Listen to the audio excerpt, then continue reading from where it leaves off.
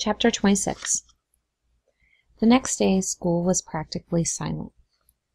There was none of the usual boisterous shouting and jibing in the halls before homeroom. The buzz of conversation had been replaced with the occasional sound of a hiccuping sob. Jazz wondered how they would all feel if they knew that Ginny's death, as devastating as it had been to them, was only one pearl in a bloody strand. In two more days a woman with the initials IH would die. She would be sexually assaulted, invaded both vaginally and rectally, then injected with drain cleaner. The penultimate victim to be so injected. Imposed via a system of nails and fishing line so that she stood in a hotel shower as though washing. That's what Billy had done as the artist, and that's what the Impressionist would do, down to a T, adding only the subtraction of six fingers for his own sick reasons. Waiting for the first bell in homeroom, Jazz flipped open a notebook to a fresh page and started scribbling names and facts, hoping that his writing hand would figure out what his brain could not. But nothing connected. Nothing worked. He had only two real suspects Erikson and Weathers. It could be either one. But neither of them fit exactly. He didn't even bother writing down G. William's name, his cheeks again flushing briefly with the embarrassing memory of suspecting the sheriff. He thought, too, of Jeff Fulton, Harriet Klein's father, but quickly discarded him. It was possible, in theory, that the man's grief had pushed him over the edge, but grief usually didn't take that sort of form. If Fulton had been driven that crazy, he'd be more likely to try to kill Jazz or Billy, not to replicate Billy's crimes. In addition, he realized there was no reason the killer should be some one Jazz knew. The odds were that it was a complete stranger, which meant that he had a lot of information and no conclusions, as usual. All classes, the principal's voice boomed over the PA. Please observe a moment's silence for Miss Davis. Other than a stifled sob, Jazz's home room went utterly silent. Two days. Two days until another murder. The impressionist was stalking Lobo's Nod, and Jazz couldn't think of a single thing to do to stop him. He texted G. William. Any updates? Surreptitiously using Howie's cell under his desk. But the moment silence ended and classes began with no response. It went that way all day. He checked the phone obsessively, certain that he'd missed some sort of notification due to his unfamiliarity with the gadget. But no matter how he tapped, poked, swiped, or manhandled the thing, no message from G. William came up. He suffered the school day in silence and solitude, keeping to himself even more than usual, avoiding eye contact. By now everyone knew that he'd been present at Ginny's death. As he'd predicted, that of news had been deduced and spread overnight. The only thing they didn't know was that Ginny's death was connected to others.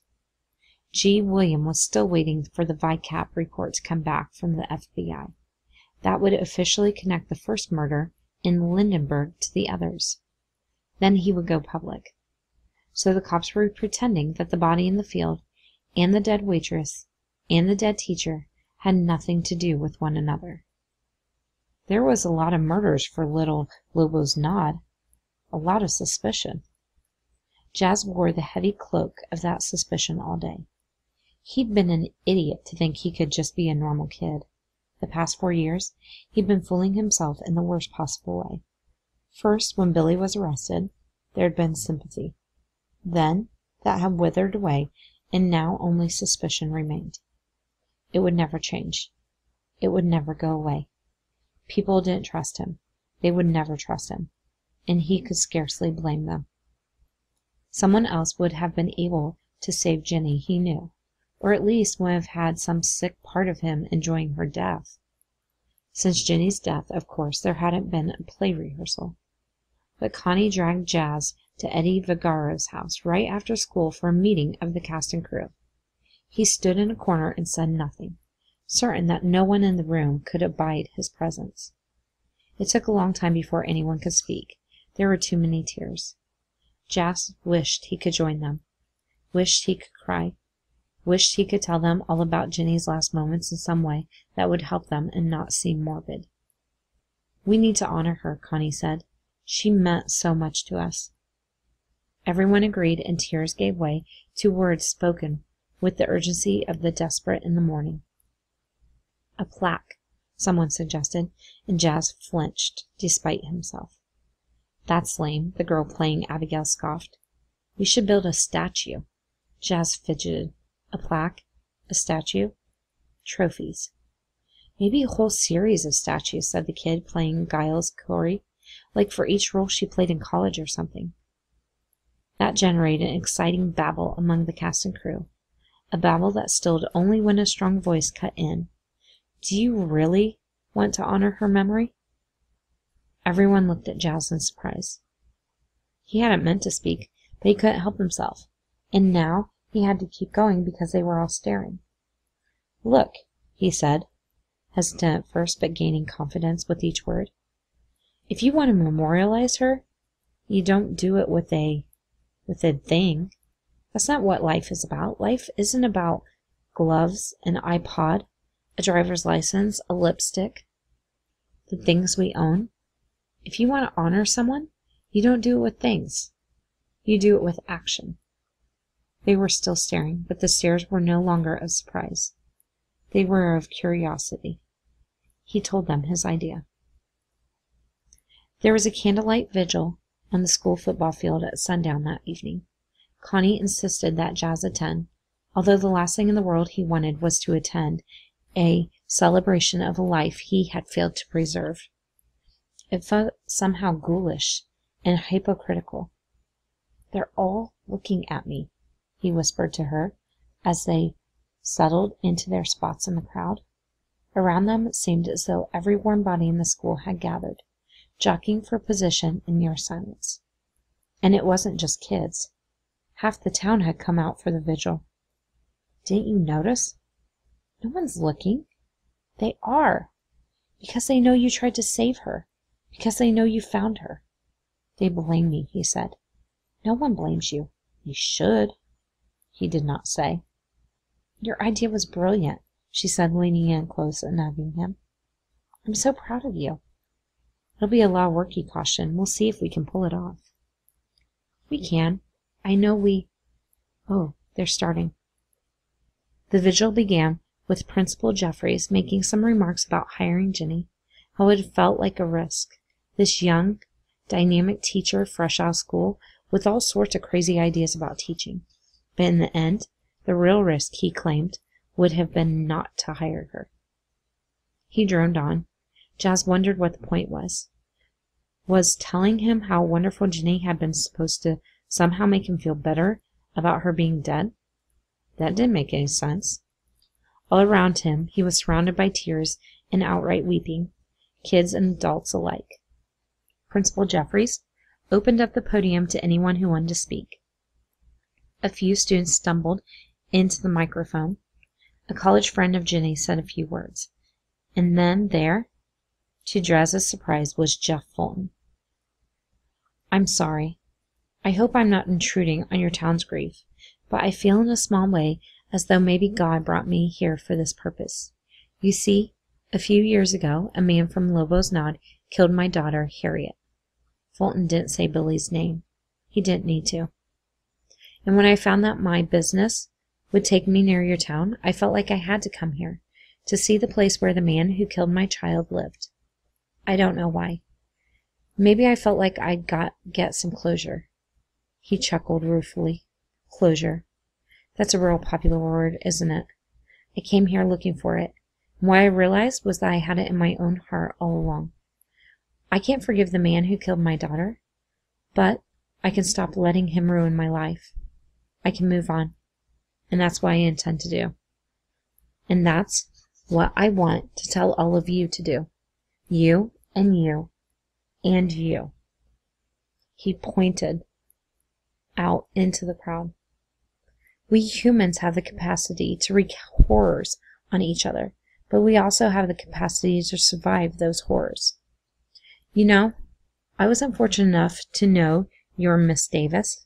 But listening to everyone speak, I like to think he hesitated, and for a moment he seemed that he might just walk away from the microphone, but instead he gripped the lantern and went on.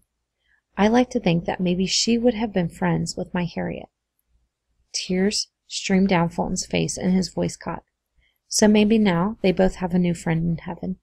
Thank you. Thank you, all of you. Fulton staggered away from the podium to applause.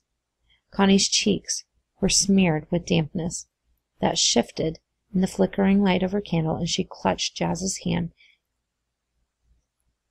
as speaker after speaker extolled the virtues and wonderments that had once been Virginia Davis.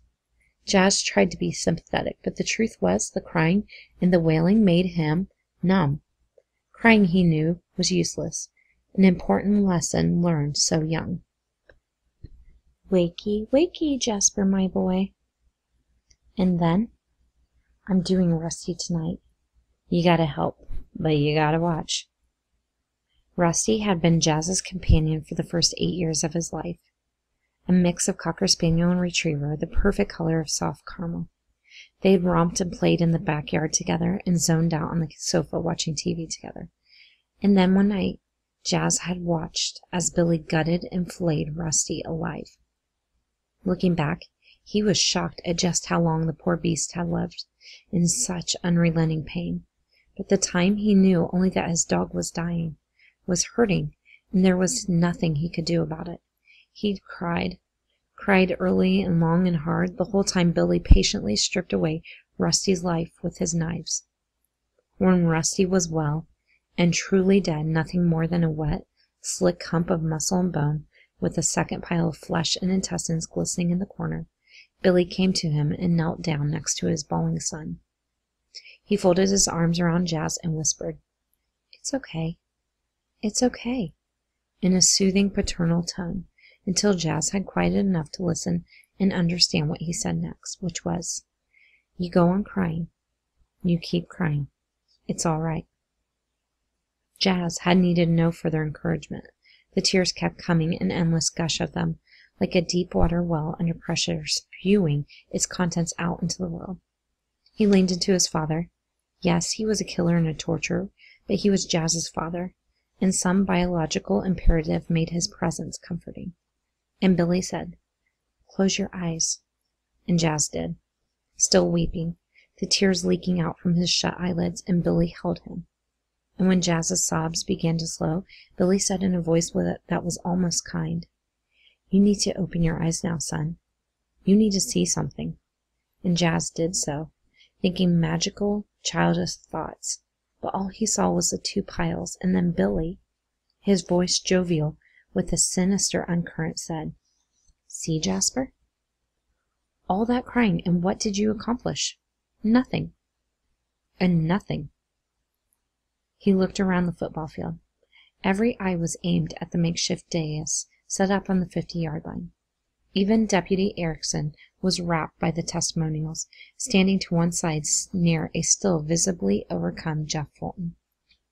Every eye but one. Jazz couldn't believe it.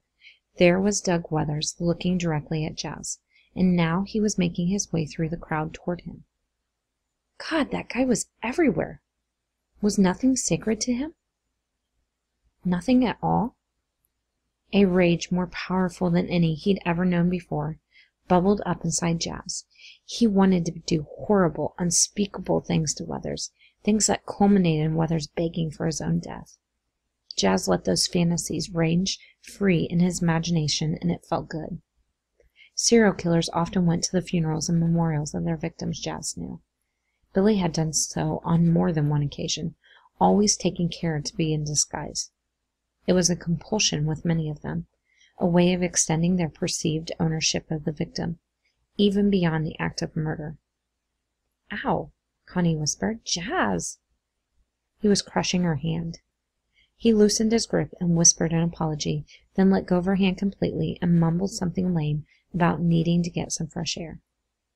He pushed through the crowd, heading for the exit.